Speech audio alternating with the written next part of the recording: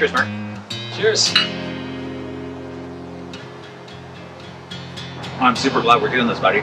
So what brings you around here? Well, my girlfriend and I, we just split up actually.